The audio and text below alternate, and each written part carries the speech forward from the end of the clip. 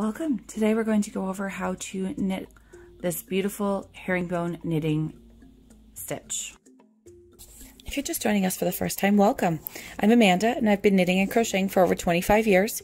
Our channel is about teaching beginners how to make beautiful creations. So if this sounds like you, smash that like button. I'm going to be using our our six and a half millimeter knitting needles. Now we're using a little bit larger needle for our work because it is a really tight stitch and you're almost always knitting two together throughout the whole work, okay? So we want to make sure that we have a nice and loose fabric. So this is a six and a half millimeter uh, in the round needle. Our yarn as well is our the Craftsmart Values in this beautiful sky color. Now, for this pattern, we're actually going to be following the stitch itself. We're not actually making the whole blanket, uh, but this is a uh, free pattern from Michaels. I will link it uh, in the description below if you guys want to try it. For the whole blanket, it uses the Bernat blanket yarn. We're going to actually make this. We're using a smaller swatch here, but this is intended to be a uh, infinity scarf.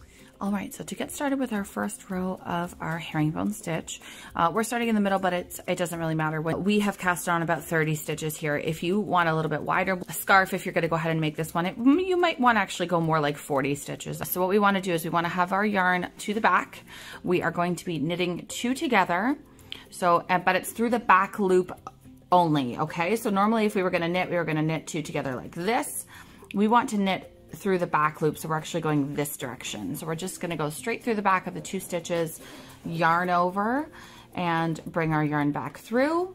So now we have one stitch, uh, only loop off the first stitch from our left hand needle, okay? So this is it there, and we have one on our, on our right hand needle now.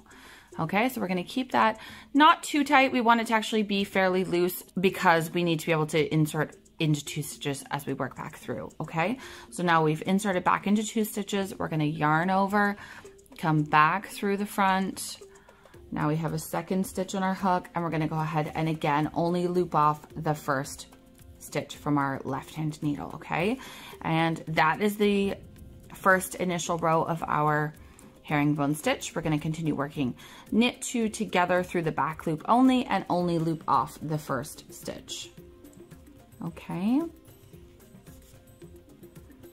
And this is tight, so it is slow moving across each row, okay? So just keep that in mind as you work through the row, okay? And then when we get to the end of the row, we're gonna knit through the back loop only on our last stitch to finish off our our row, okay? All right, so here we are at the end of the row. We've done our last knit two together through the back loop.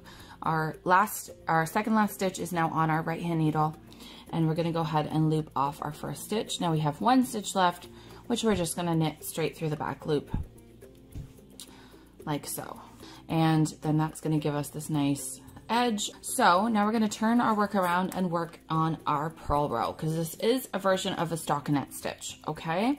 Uh, it is just a straight two row repeat, so it's very, very simple once you get the hang of how to do the knit two togethers. It is a great two row repeat, so it's nice and simple once you get the hang of the knit two togethers and the purl two togethers, because we're gonna do those now.